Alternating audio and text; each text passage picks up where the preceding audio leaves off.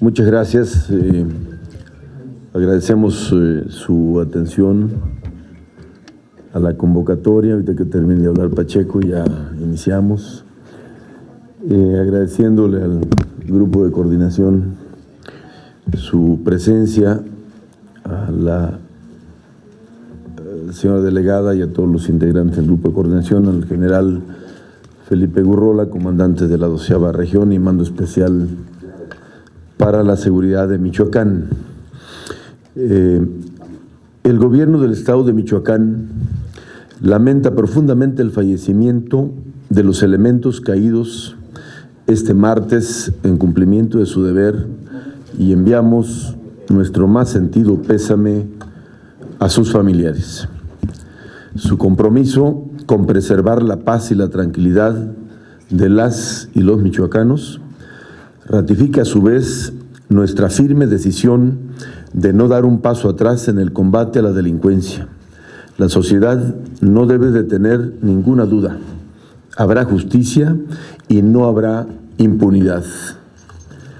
Preservar el bienestar de las y los michoacanos y generar condiciones para alcanzar una paz duradera en la entidad son objetivos irrenunciables para el gobierno del Estado y el gobierno de la República, por lo que no habrá marcha atrás en la lucha frontal contra el crimen y la delincuencia organizada.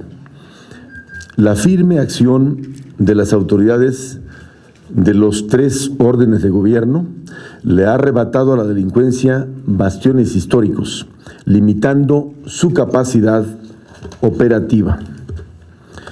El trabajo coordinado entre las fuerzas estatales y federales ha sido reforzada, reforzado especialmente en Tierra Caliente y en la Sierra Costa, teniendo como principal objetivo la detención de líderes de células delincuenciales con presencia en las regiones anteriormente mencionadas. Como antecedente, informamos que a partir del 30 de agosto se han llevado a cabo los siguientes aseguramientos.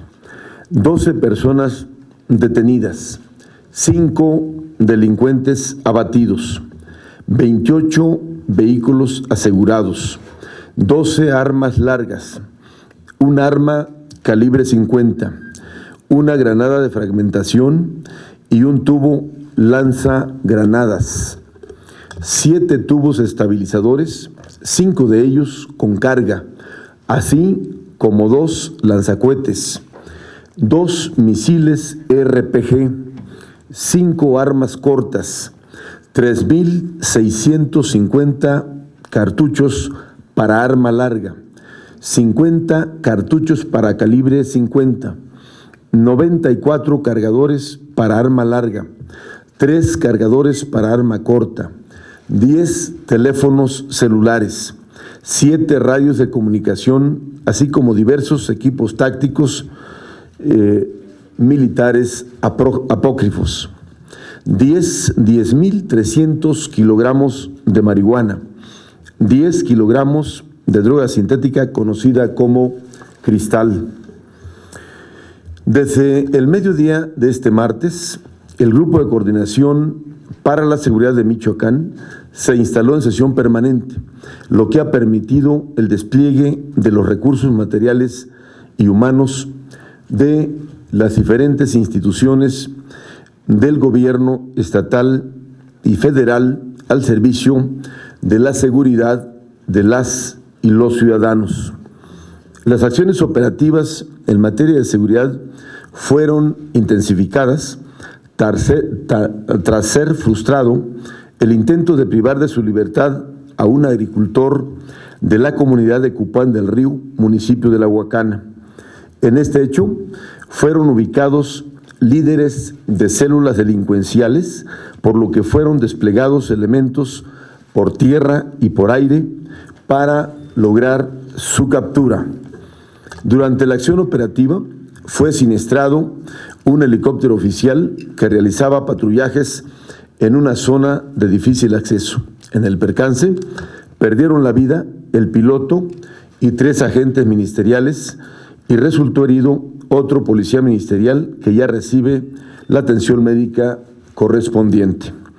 En este momento se realizan investigaciones puntuales para determinar las causas que provocaron estos hechos. Además, el gobierno del Estado y el gobierno de la República se encuentran en estos momentos desplegados en la región, teniendo como objetivo la búsqueda y desde luego dar con los responsables de las actividades delincuenciales.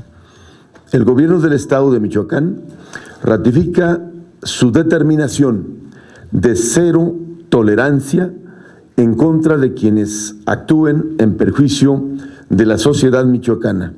Tope donde tope.